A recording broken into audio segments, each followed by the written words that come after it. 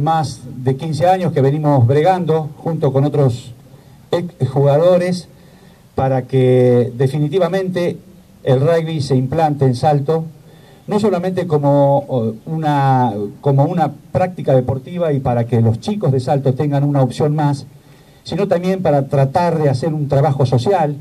y, que aquellos que no tienen cabida en otros deportes, poder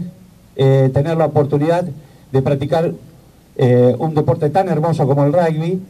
y bueno, también poder sacar los chicos de la calle y que tengan una oportunidad más para jugar acá. Em,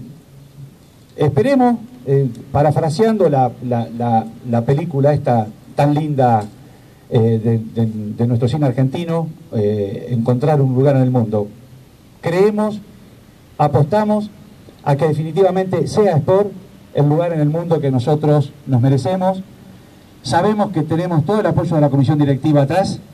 y también confío en la gran cantidad de compañeros que están trabajando al lado mío y jugadores que le vamos a dar una gran alegría al club eh, en agradecimiento por habernos permitido hoy ser parte del club y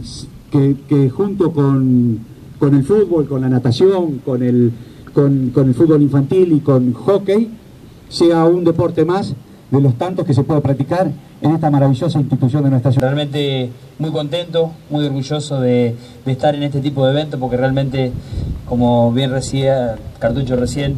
es un lugar donde más allá de que se llame rugby, fútbol, hockey, paleta, natación, lo que sea, es un lugar donde podemos resguardar a, nuestros niños, a nuestros jóvenes de tantas cosas que, que hoy pasan en el mundo, ¿no? Eh, contento porque hayan encontrado este lugar, porque es un lugar donde eh, van a poder desarrollar su actividad, ser felices y hacer felices a un montón de chicos, jóvenes y adultos, ¿por qué no?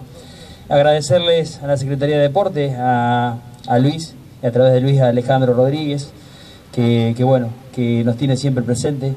a Serafín, que bueno, eh, no dudó